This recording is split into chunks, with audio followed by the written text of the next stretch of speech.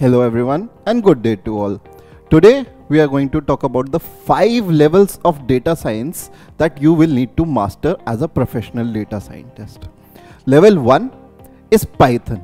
Basics of Python, conditional statements in Python, data structures in Python, loops in Python, list comprehensions in Python and not just that, you will also need to understand how to work with an API you will need to understand what Pythonic coding is. You will need to have a, a detailed understanding of a library called PEP8, PEP8. Now that you have mastered Python, what next? Well, the next step is data.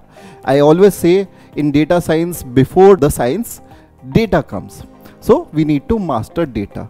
Well, to master data, you need to understand how to connect to various databases, how to work with various databases, uh, whether that be Postgres, Mongo, MySQL, Cassandra, and many other databases. You have to understand all of the database paradigms. Next, you will have to learn how to do exploratory data analysis. You have to understand the principles of exploratory data analysis. You have to understand how to do it in Python. You have to understand how you can prototype exploratory data analysis in Google Sheets or Microsoft Excel.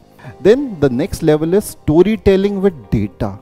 You have to understand how to make powerful meaningful presentations out of your exploratory data analysis. You have to understand how to get your point across, how to communicate with data, how to tell a story with data. Lastly, the step in data is dashboarding. You have to understand how to create powerful, meaningful dashboards. Again, all of the things that we learned in data till now, as well as Python, will play a role here uh, you have to understand the principles of dashboarding. These are called the first principles of dashboarding. Why having numbers alone is not a good thing in dashboards? Why comparison is a critical thing in dashboards? And so on. Once you have at least two three projects around dashboards in your kitty you will be able to say that you are a master of dashboards. What next? Well finally we come to machine learning in machine learning, you will have to learn the conceptuals. You will have to learn the sklearn implementations as well.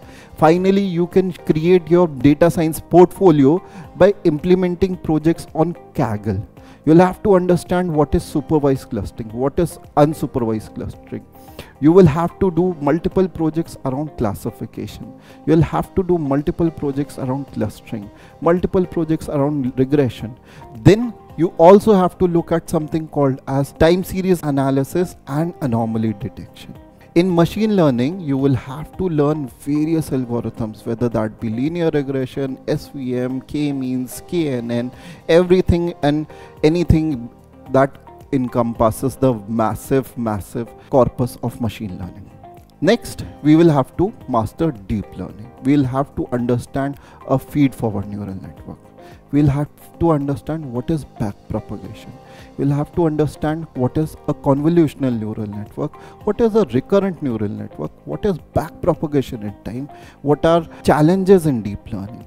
Not just that, you will also have to understand some complex models such as InceptionNet, ResNet, uh, Layout LM, multimodals as well, RoBERTa, uh, XLM RoBERTa. These are things that you will have to understand Finally, the most popular level that you will have to master is GenAI and Agentic AI. You will have to master transformers. You will have to learn about the GenAI glossary. What are LLMs? What is the difference between generative AI and LLMs? What is the difference between data science, machine learning, artificial intelligence, GenAI? All of these terms you need to understand then you will have to understand what is prompt engineering. What are various strategies in prompt engineering? The first project that you should build around llms and generative ai should be a rag based project a retrieval augmented generation project.